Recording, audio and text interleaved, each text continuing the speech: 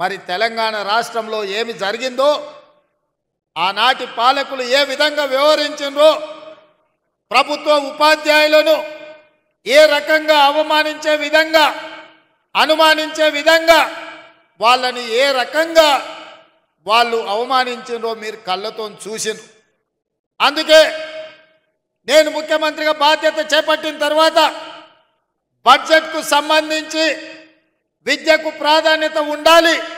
పేదవాడు చదువుకున్నప్పుడే తెలంగాణ బాగుపడుతుంది. తెలంగాణ యొక్క లక్ష్యం తెలంగాణ రాష్ట్రం యొక్క సాధన ప్రజలకు చేరుతుంది అని చెప్పి ఏడు పాయింట్ మూడు శాతం ఈసారి విద్యకు ఇరవై ఒక్క వేల కోట్ల పైగా ఈరోజు విద్యకు నిధులు కేటాయించడం జరిగింది.